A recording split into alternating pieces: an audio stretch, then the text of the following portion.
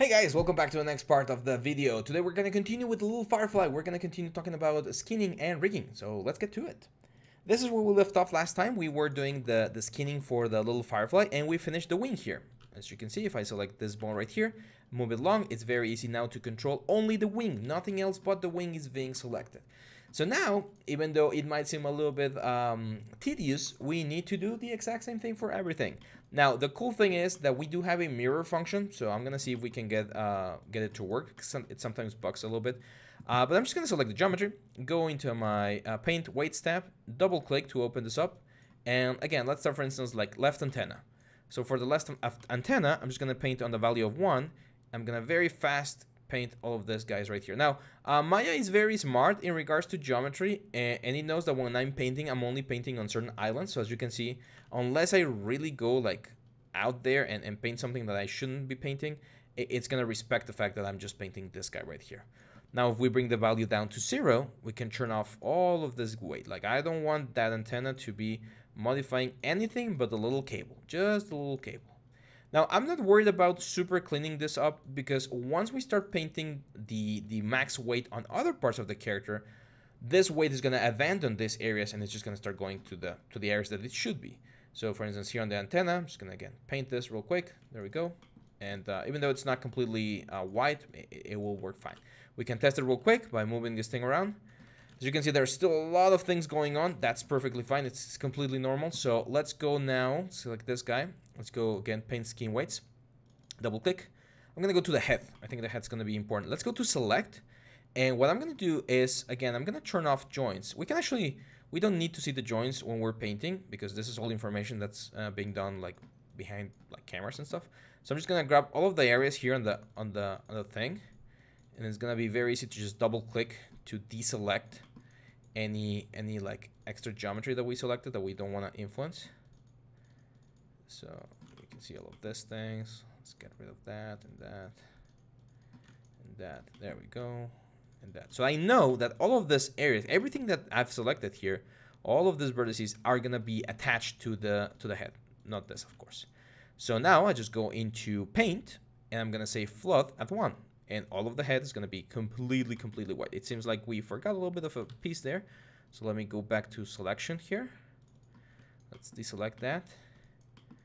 There we go. And I'm just to say uh, paint, and we're to paint uh, with white. So now the head is completely being uh, influenced by the head joint, not the antennas or anything else. Now you can see there's still some influence here, and I don't want that. So I'm to go back to select, and now I'm to start selecting all of these areas that I saw had a little bit of like influence. And again, this is an easy exercise for, for rigging and skinning because everything is solid. Uh, sometimes when, when you're working with other characters and stuff that, that the form, like skin and muscles, that gets a little bit trickier. But this one should be fine. So let's go back to paint. And I'm just going to say value of zero, flood So now as you can see, there's no uh, influence there.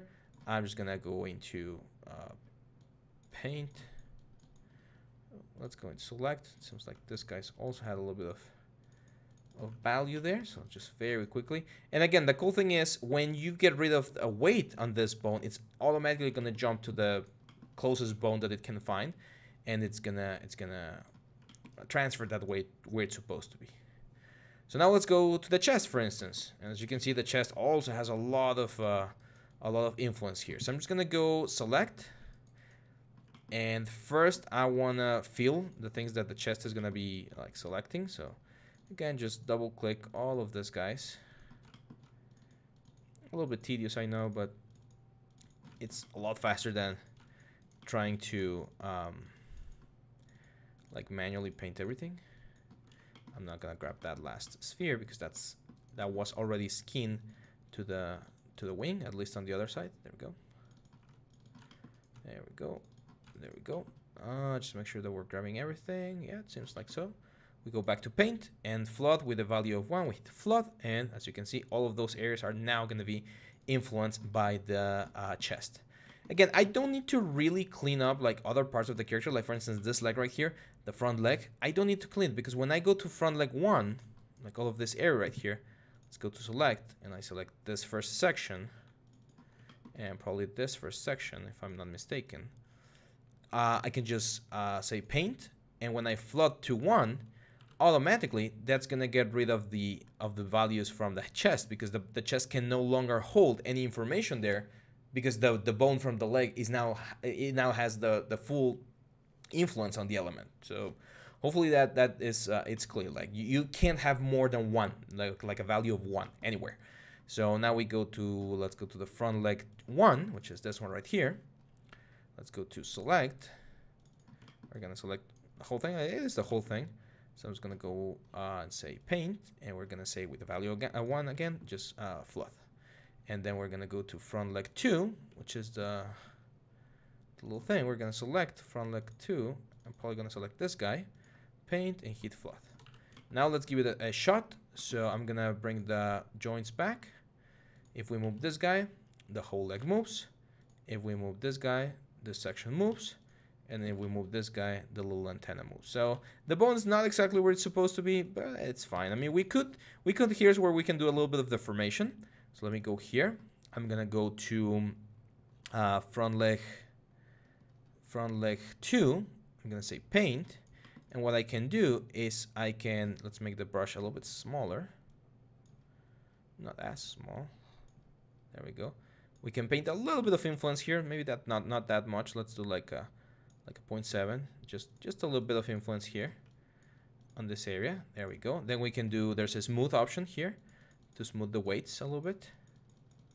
And now what's gonna happen is when we turn this around there's gonna be a little bit of a bend there see? So looks a little bit nicer. So that's what we do with with the, like a full character. We we create that sort of stuff and uh, it, it uh, of course creates like the nice movement in arms legs everywhere so let's jump onto the next leg very quickly here. So I'm just gonna double click and we're gonna go to the mid leg. So mid leg zero, same deal.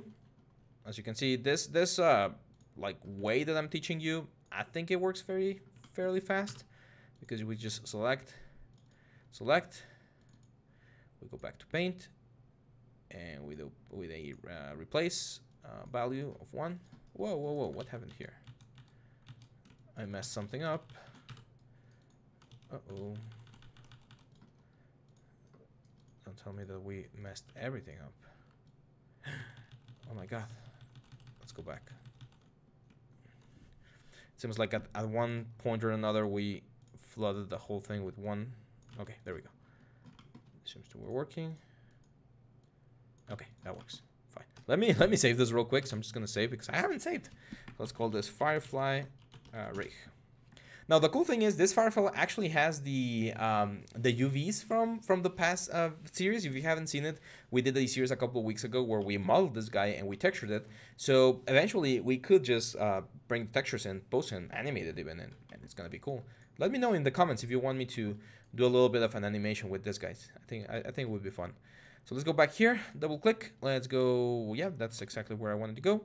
So select, and we're gonna select this guy and this guy. We're gonna go to paint replace and flood with one there we go and then we go to front mid leg one do the same thing select select just this guy there we go paint and flood. and we go to leg two which is the final one select all of those guys all of those guys paint and flood. there we go and on this side uh, we're gonna do the same exact same thing so on the back leg back leg zero I'm gonna do uh, left uh, back legs because we're gonna be mirroring everything. So here, same deal, select, select this guy's paint and flood, Select this guy's paint and flood, Select this guy's paint and flood, And oh, I actually forgot about this one. There we go, paint and flood. That's why also modeling in, in clean way, in a clean way, it's going to be really, really, really helpful for us. Now, finally, we just need to do the, um, the tail. So I'm going to go to the tail. This is going to be very important. So for the tail, we're going to go again into select. We're going to select this whole like barrel thing, the spheres. And very important, we have a lot of, of stuff of, uh, back here, like the light bulb and stuff. Eventually, we we would need to uh, either like rig the, the little like coil for the light or, or parent it somehow so that it follows everything. Just gonna go paint and we're gonna say flood. There we go. So now, as you can see, if we grab the tail here and we move it, the tail moves in a nice way. Same for everything else. Now, of course, the wing is, is looking weird. Now, I'm going to grab this guy. I'm going to say skin. And I'm going to say mirror skin weights. We're going to mirror on the y's, uh, see, positive to negative, so from plus uh, x to minus x. And we're going to do this closest point on surface, one to one, and we're going to hit apply. And if things work the way I expect them to work, we should be able to have a nice transfer of the rig. As you can see, certain areas might not work exactly. There's sometimes a couple of like errors here and there, but everything else seems to be working fine. Let's check the antenna here. Yeah, so everything seems to be working fine. I think it's only the, the wing that had a little bit of a of a messed there, messed up trans transfer, but that's fine since it's a it's a such a simple thing. We can just go back to the wings here. Let's go back to the right wing now. And yeah, you can see there's a couple of points there that are not painted. We can just manually paint them, no big deal. Let's give it another go. And there we go. So now, as you can see, all of the of the bones. Let me let me turn off geometry that we can select it. We can select all of the bones now, and if we were to grab like this guy and this guy, we can move the the wings around to make it like fly. We can move the antennas around. They're mirrored, which is very cool for us. If we grab like a leg, for instance, and we grab the three points of the leg, we can do the little claw thing that we talked about. So if we need to do like a, like if he's holding something or whatever, by modifying in this case the y-axis, you can see that it, it, it, moves in the right way, in the right uh, direction that we want.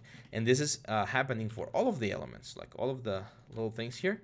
If I select just the y-axis, all of them are going to move in this very nice uh, position. Now you can see that the bone there is, is going out of the leg. That that means that there's a, an issue with the with the skinning as well. So let's select this real quick and see what the deal is. Mm, shouldn't be though. Oh no, you know what it is? Uh, I think this guy has a little bit of weight. Does it? Because remember we talked about how the little tips we, we usually don't use them at the end? So yeah, for some reason, seems like we lost the we lost the weight there, but that's fine. I'm gonna just leave it like that for now. And uh, and yeah, that's it. So one of the cool things about rigging, other than animation, of course, which is really really handy, is the fact that with a proper rig like this one, we can pose the character. Posing a character really really brings uh, them into the next level. So one of the things that a lot of my students ask me when they're approaching their final uh, like uh, classes, when they're about to graduate, is I want to prepare my portfolio. I want to be a character artist, but I, I don't want my character to be in the typical T pose, right, where he looks like super boring. That's where posing comes into place, and and posing with a very simple rig like what you just saw. Like we've been we've invested about 30 minutes from the rigging section yesterday and from today into into rigging this guy. And as you can see it, it, it works very nice. It, it's fairly easy to create a rig especially for this type of characters which are like robots. And now we can pose it. So so let's do a little pose here. So let's do a very like minimalistic thing. So I'm gonna just create like a big sphere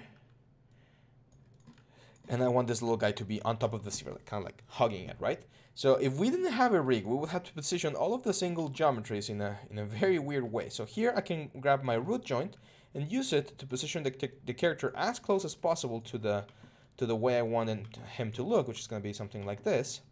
And then I can just start going little by little. Like let's start, for instance, with the chest and say, you know what, let's bring the chest down like this. And then the tail, we're going to bring the tail down as well so it's hugging the surface right here. And then this leg, for instance, we're just gonna move it like this. And then maybe we want this to like go oh, I have to grab this one because the rig broke there. We're gonna go like back here like this. And then maybe this arm we want him to kind of like be uh, holding onto the, the little sphere so we just rotate this whole thing. And then we can use the last bone here this one let me again deselect geometry. I don't want to be selecting geometry. Just position this one right here so it's touching the, the circle. And then this one let's make this one say hello like hey I just finished my first rig. So he's really happy. Let's grab the head turn it around a little bit kind of like a like a happy dude. Like this antenna we don't want any weird overlap so let's move this antenna here And this one right here. The wing. I want him to show off his wings, so we're just gonna move them like this. Maybe this one's back there. Then this leg, let's let's make him rotate it like this so that we see a little bit of the of the coil there at the end. Just a small section. And there we go. So we have a very happy-go-lucky um, little uh, guy right here that we're going to be able to get a render from. So let's talk about the render because I did mention that that's something that we could do. Um, I'm going to show you one very cool thing. So if you remember, I'm going to save this real quick. We have the render scene from the from the Firefly uh, that we did. So we have this Firefly render. And one cool thing about having multiple or having your project set up in, in this way, in, in like sharing things and stuff, is that in here we already have the materials that we want for the Firefly. If we take here, Control A, and we go all the way here, we have this M Firefly, which has all the connections already done. Remember that connecting things can be a little bit time consuming sometimes? Well, if we go into the Hypershade, one thing I can do is I can just grab this M Firefly uh, material, and I'm gonna say File, Export Selected Network, and I'm gonna export this into the Assets folder. Let's go into the Firefly. Let's call this I'm gonna export this as a Maya ASCII file. I'm just gonna call this Firefly material. oh, sorry. oh my god, it's allergy season back here in Mexico, and um, and things are tricky. So now I'm just gonna go back to the Firefly rig. Uh, don't save here. We don't need to save anything. I have this little guy right here. Just gonna grab him, and I'm gonna say um, I'm gonna say File Import and we're going to import from our assets folder the Firefly material. And now we check our render, the Firefly material here, uh, here Firefly material is here. And it should have, oh, why, why did it not have? That's really weird. That's really weird. Oh, it's this one. Is this Firefly material underscore M Firefly? Because I think the Firefly that we had before already had a one assignment. But yeah, you can see it right here. So all the metalness, uh, everything with the UDIMs and everything. Remember we did UDIM setting setup, so it's right here. So we can just select the body, right click, assign existing material, and we assign this thing right here. And if we go into number six, we should be able to see the preview. We're not seeing it just yet. So let's do a quick render. So I'm gonna say lights, sky dome light. Let's add a nice sky dome here. I'm, I'm not gonna go as dark as what we did for the for the render that we had before. So let's go this one, decor shop. Let's find a nice frame, which is of course the one that you saw on the thumbnail. I'm gonna kind of hide the the back of the character so that we don't see the light because we don't have any light. And uh, let's save this real quick. I'm gonna change the options here on my render setup so this is GPU. And let's see how this looks. So yeah, this is this is rigging, guys. Uh, rigging is the art of creating a, a skeleton using joints, using these virtual bones, and connecting that skeleton to the geometry so that we get the, the results that we are going for. So that we can pose the character, animate the character, move the character in ways that will be very time consuming to do it uh, just with the, with the geometry. So yeah, here's our little guy. very, very funny looking little guy. So let's let's add one more light here. Because I do think it looks very nice. I'm just gonna go Arnold lights. Let's do an area light. A big area light here on top. Let's look. 10 exposure. That's good. Uh, 11 maybe. There we go. So yeah, this is this is why rigging is so useful and so important in the production pipeline because it will allow us to create things like this. If you remember when we did the render for the little firefly uh, back on the on the other um, exercise, the issue is at the end I just like moved them and placed them where they were, but they were just in their like basic pose, which was fine because of the distance. But now if we want a close up where this character is actually interacting with us in, in this way, we definitely want things to be a little bit nicer. So let's move this leg down. There we go that looks a little bit better. And i like the decoration right there. I think it looks it looks good. I think it's gonna be a good uh, thumbnail. So yeah this is it guys. This is a quick this was a quick two-day project. We did uh, the rigging yesterday and the skinning today just to get a nice little pose for our character. Now, again, disclaimer, this is not the whole rigging process. There's one more step that I don't want to really get into because it's a little bit tedious and confusing, uh, especially if this is not what you're uh, really going for, which is the controllers. There's a lot of different controllers and a lot of different systems like the IK system, the FK system that we can add into the character to give more uh, depth to the rig, not only to pose it, but to actually like animate some very cool stuff. Uh, but again, that's going to be a little bit more complicated, and we're preparing something very cool for you guys, where, where we're going to be exploring all of that. So yeah, that's it for today, guys. That's it for this video. Hopefully you liked it. Let us know in the comments if, if this is helpful. Uh, what do you think about rigging? Is it still scary? Hopefully, hopefully with this, you you lose that fear of, of rigging, and you can tr try yourself. Like finish the the Firefly uh, tutorial. Try to give it a skeleton. Try to skin it so that you can pose it. And now anytime you do some sort of robot or object that doesn't deform as much, you're going to be able to pose it and create a, a nicer composition than what you would normally do uh, with just a, a T-pose of a character. So that's it. Leave us a comment, leave us a like, share, subscribe, and I'll see you back tomorrow. Bye-bye.